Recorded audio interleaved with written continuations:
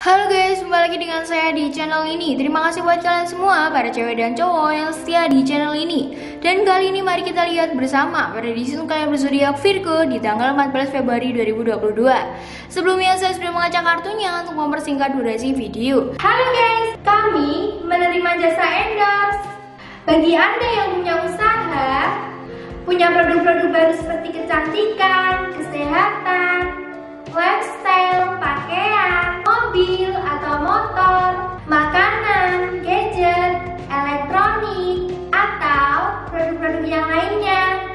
Dan butuh jasa promosi atau endorse?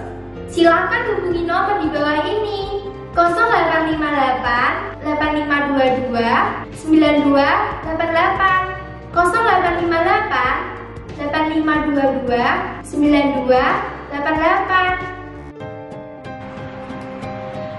Assalamualaikum warahmatullahi wabarakatuh. Anda punya usaha dagang,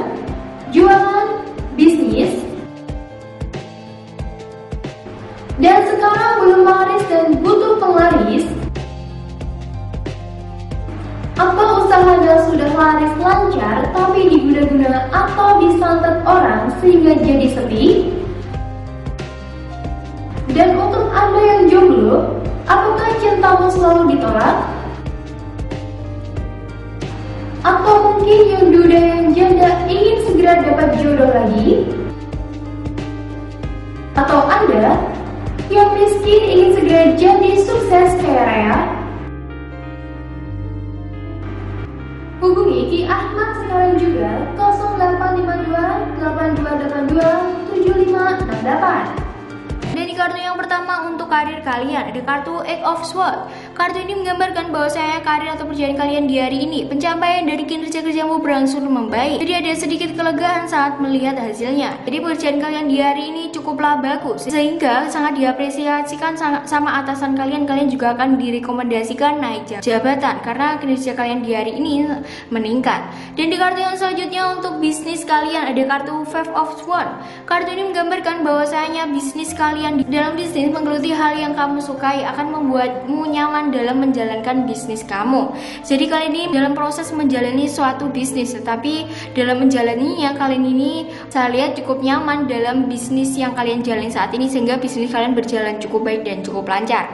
Dan di kartu yang selanjutnya untuk asmara kalian ada kartu Queen of Swords. Kartu ini menggambarkan bahwa saya asmara kalian di hari ini untuk kalian yang single. Kamu memang seseorang yang sangat mempertahankan kemandirian, tapi tetap saja di dalam hati kecilmu kamu membutuhkan seseorang yang lebih dari teman.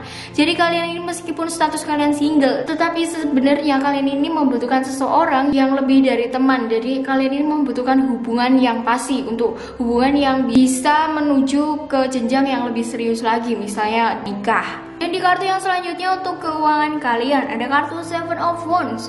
Kartu ini menggambarkan bahwa saya keuangan kalian di hari ini kamu mengalami beberapa perubahan yang tak bisa dibilang kecil, tapi kamu memang telah menduganya. Jadi kalian di hari ini akan ada pengeluaran-pengeluaran untuk kalian di hari ini. Entah itu kalian memiliki tanggungan, kalian ingin membeli sesuka hati kalian, berfoya-foya. Intinya kalian ini cukup banyak mengalami pengeluaran tetapi cukup sedikit pemasukan kalian dan keuangan kalian bisa dibilang dibilang kurang baik dan kuranglah lancar. Assalamualaikum warahmatullahi wabarakatuh. Anda punya usaha dagang, jualan, bisnis, dan sekarang belum laris dan butuh penglaris?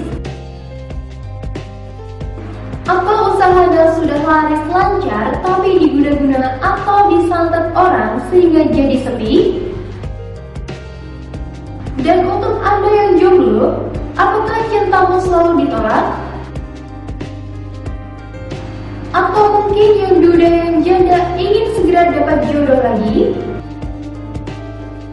Atau Anda yang miskin ingin segera jadi sukses kayak Raya? Hubungi Ki Ahmad sekarang juga 0852 8282 7568